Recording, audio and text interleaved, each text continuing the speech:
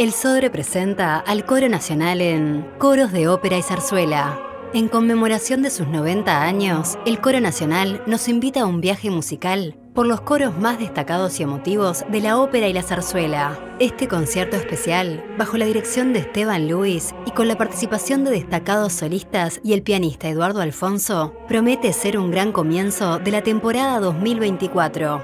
Coros de ópera y zarzuela. Viernes 16 de febrero, a las 20 horas, en el Auditorio Nacional Adela Reta.